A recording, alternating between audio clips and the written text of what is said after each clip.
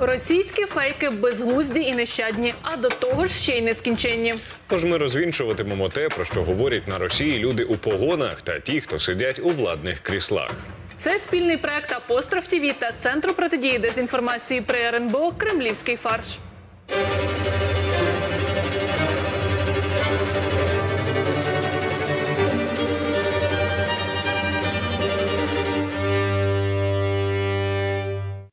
Чергова маячня цього тижня прозвучала від депутата Держдуми Андрія Картаполова.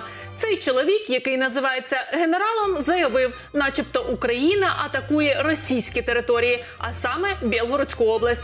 Але про це чомусь офіційно у кремлівському міноборони не кажуть. Первое, это надо перестать врать. М, Мы уже не раз об этом, кстати, говорили.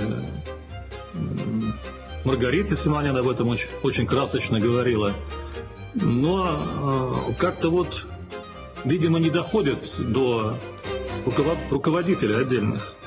Сводки Министерства обороны, они практически не меняют своего содержания сбили 10 снарядов, поразили 50 объектов, уничтожили сотни нацистов. И все.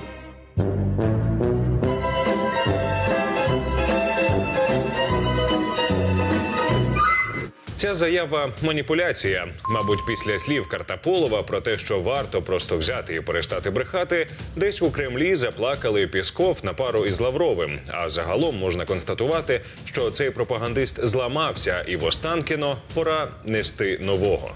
До речі, останнім часом процесор кремлівських ротів дає збій, і це можна пояснювати однією з двох причин: на оперативку цих біороботів впливають ЗСУ. А зараз відкривайте словник і запишіть пару нових фраз виправдань від російських посіпак.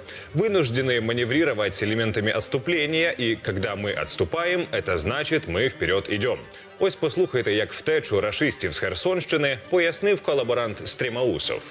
Мы не сдавали Давыдов Брод, мы не сдавали Большой Александровку или Великой Александровку, мы не сдавали Дучаны, мы просто перегруппировались, и если кому-то не нравится это слово, перегруппировались, потому что благодаря перегруппировке мы сохранили жизни наших воинов, наших парней, которые на сегодняшний момент сдерживают натиски всех тех нацистов и всей, той, ор- всей той орды, которая в лице НАТО, э, автомобилей, танков, бронемашин прут на территорию Херсонской области. Нет, это не паника, друзья, это объективная реальность.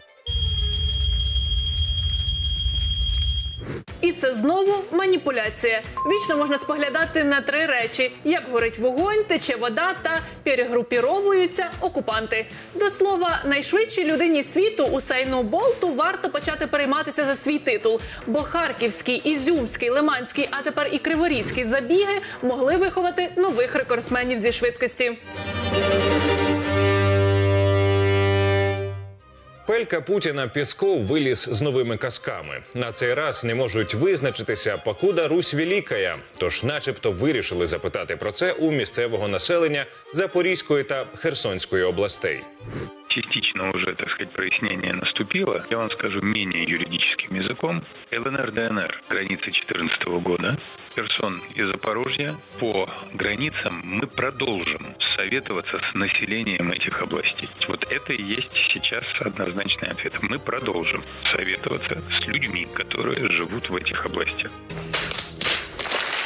Заяви Піскова це як окремий вид знущання, неймовірно безглузді, але слухати доводиться. Та для нас важливішим є те, що їх не слухають військові збройних сил та особисто генерал Залужний, котрі раз за разом системно зламують кремлівським маніпуляторам комунікацію з місним населенням.